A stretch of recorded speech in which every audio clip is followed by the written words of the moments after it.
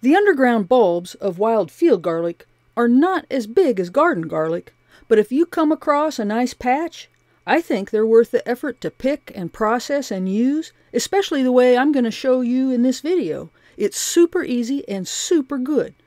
Hey, welcome to Haphazard Homestead. I'm Holly Chris. I'm glad you're here. I made a video on using the wild field garlic scapes or flower stalks when they're flexible and tender, but the season for harvesting them is so short compared to the time you can harvest the wild field garlic bulbs from under the ground. If you find wild field garlic as it's maturing and drying down, that's great. On these plants, the weather was hot and dry, so the flower heads never opened at all. You can see how wild field garlic is a hardneck garlic and how the leaves are arranged around that stiff flower stalk. And this is a good distinctive feature of wild field garlic too. Look at how the main bulb does not have cloves like a regular garlic. There's just a bulb and then one or a few side bulblets or little bulbs that sprout off to the side of the main one. Wild field garlic will never make any real cloves like a regular garlic. Here's a batch of wild field garlic I harvested before the flower stalks had developed at all. Using a box like this to hold your wild field garlic when you're harvesting works great.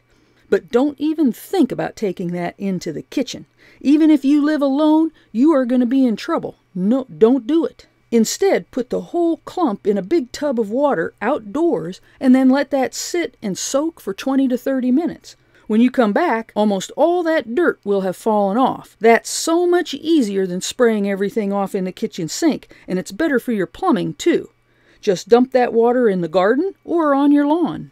Here in the kitchen, you can get a closer look at how these side bulbs sprout off of the main bulbs. And you can see how the leaves are arranged around the stalk, too. Another key feature is that these dark green leaves are hollow.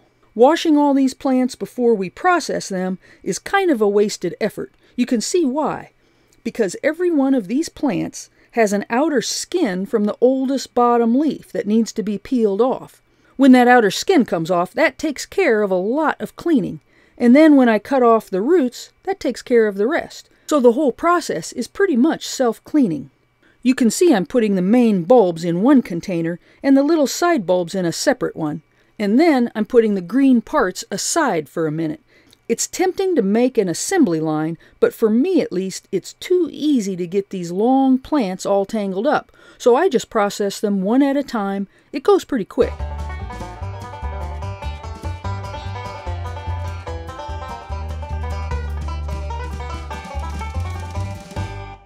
Then when I'm all done, I go through those green parts again to take off what's nice and tender down at the base. Sometimes those parts can be tough, but just peel off the outer layer until you get to that tender inside core. I use these cut ends for a big batch of soup. I used all the green parts for making soup stock. That's where I boil them in water for a while, then take them out and compost them and use the broth for the base of a soup. In my other video on wild field garlic scapes, Sabine Wanner suggested a good idea, I think, to dehydrate these and then grind them into a powder, but I haven't tried that yet. If you do try it before I do, let me and everyone else know how it turned out down in the comments below. What do I do with those little side bulbs?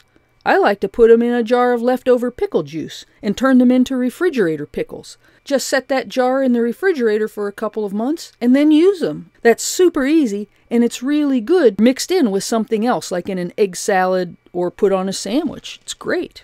And now to the wild field garlic bulbs, those main bulbs. I just put them in a jar and cover them with honey. It's as easy as that. My honey here was really cold, so it's slow to come out. But that's all you have to do. Put a lid on it and leave it for a couple of months. I do turn the jar over a few times over the next few days at least to make sure that all the garlic gets covered by the honey.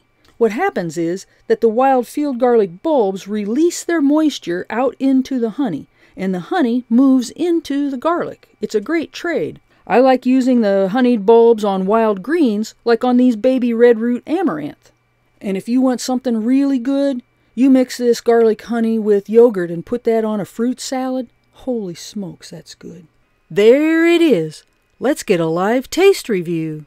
Oh, that's worth licking the plate. That's delicious. I hope you can find some wild field garlic and get the bulbs from underground yourself. Wild field garlic is a great wild food. I hope things are going well at your place. Thanks for watching. Bye.